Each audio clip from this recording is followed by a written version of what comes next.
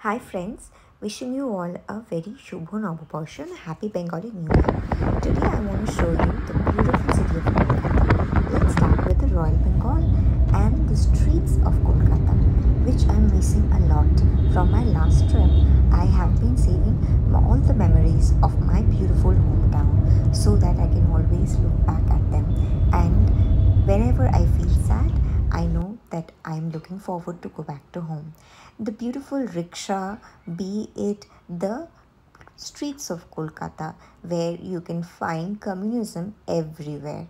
And even if it is hot outside, the roads of Kolkata, the beautiful street market of Kolkata up and to head out of home and see city every time you go home.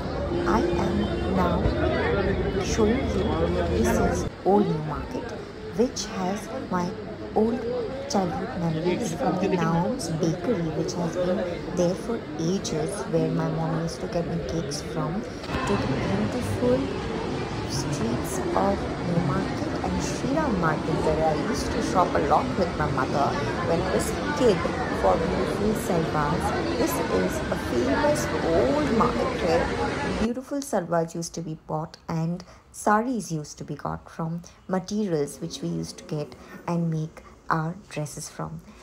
This time I got hold of some beautiful handcrafted sari from Gariahat and this is what I decided to wear on my Naboborsho today.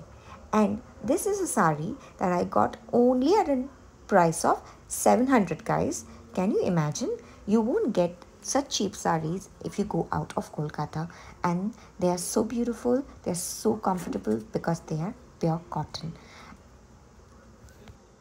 If you love the saris that I have shown in my videos all this while, do let me know. I would love to give you a tour of the places where I go and buy my saris so that if you ever visit Kolkata, you also get to go and buy these beautiful saris from these street vendors who are they're from very small shop but they have really beautiful pure cotton handcrafted saris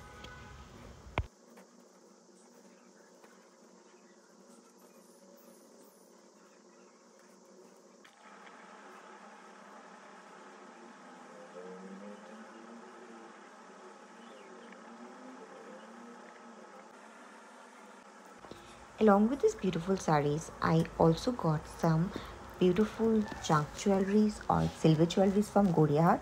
Gariahat is a hub for not only saris but lots of lots of oxidized jewelries and you can actually bargain them and get it at a very cheap rate.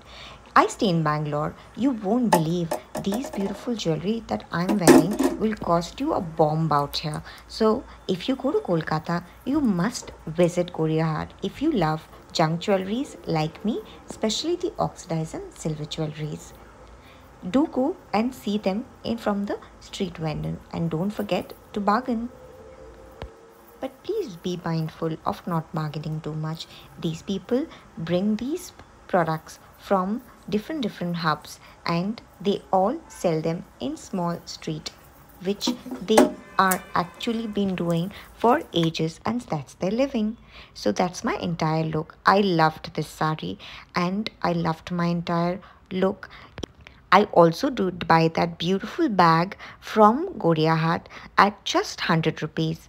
If you love what I bought and if you want to see more about my city, more about the places I go and shop, I go and eat, do keep your comments. I will come back very soon with more blogs of my city and of all the places that you can visit if you're ever planning to go to Kolkata.